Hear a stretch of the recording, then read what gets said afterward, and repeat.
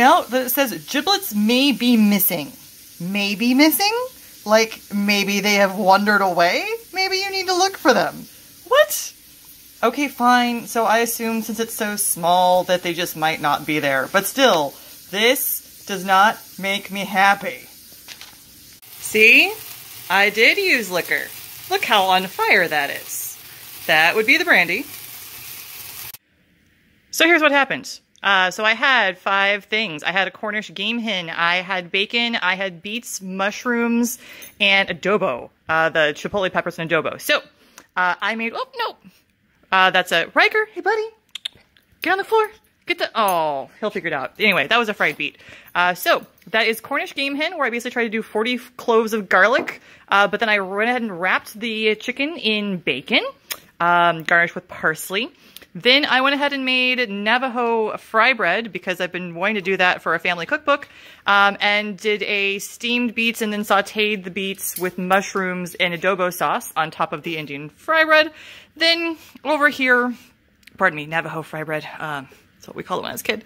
Uh, then, since I had the deep fryer out for the fry bread, I went ahead and deep fried some mushrooms and beets uh, and the wings on the chicken as well as the giblets, which are on Will's plate because that's what Will likes. Uh, so anyway, yeah, that was my insanity. And I promised the fry bread made sense because they described the garlic cloves as being creamy, and I was like, well, geez, we're gonna need like bread, so I should make bread, and I, I made tacos. Oops. That is Riker approved. Riker approved beets. Nom nom nom nom nom. Don't worry. Those beets only really had beets and some flour on them. But Riker approves of the beets. Will, how was the food?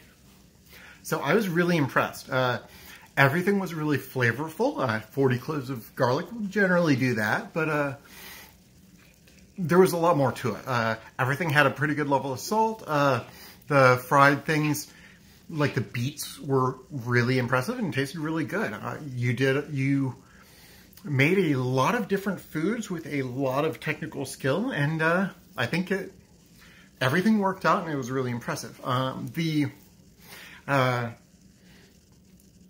uh, Cornish game hen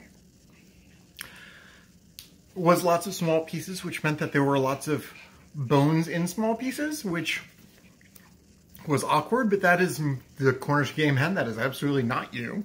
But you got to have entrapped a little tiny foods. It was tiny foods and they were adorable. And there was little tiny fried chicken wings. Yes, they, they were the tiniest, most tastiest chicken wings. um, the breading was really good on everything. That's something I've never managed to pull off. So that is... I did the recipe and then I added more flour. I've tried to follow recipes and utterly failed that. So uh, Fair. still very impressive. Um, yeah, so I think all in all, everything was really good. Uh, Excellent. Is there something that you were uh, most pleased with working or uh, the the beer batter that I definitely winged, which is why I did not put the, everything like banking on that. I was just like, well, I'm gonna make fry bread. I'm gonna have the oil ready. I should fry things. Mm-hmm. Um, but yeah, I found a recipe online, but it was really watery and didn't work. Also, I used a Lacroix instead of beer. It has the carbonation. So, and I added baking powder mm-hmm. so it would be fluffier. And that all seemed to work pretty well. Brilliant.